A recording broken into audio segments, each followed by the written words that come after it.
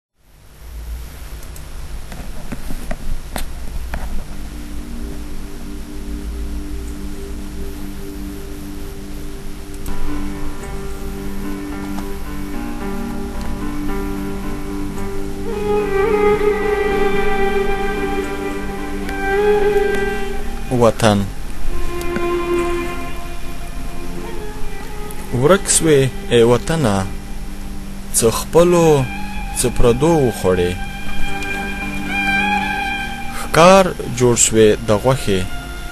څه سپو او څه لېوو وخوړې.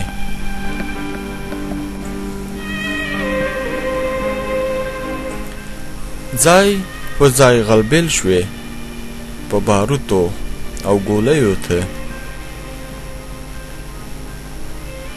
ځای پر ځای غلبېل شوې. پر باروتو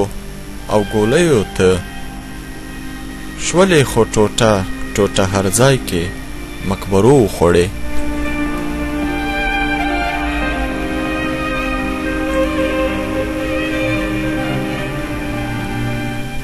خدای خبر چې ولې او یا زمونږ ګناه څه ده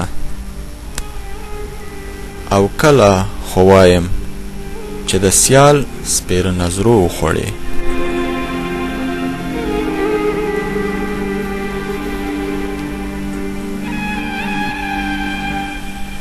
خرڅ شولې وطنه تا بې ننګه زیږولي وو لږ څه خو کلدارو څه ډالرو او څه پونډو وخوړې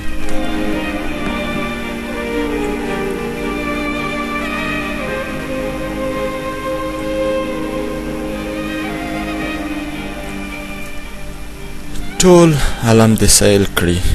خو هیڅ وسې نه رسی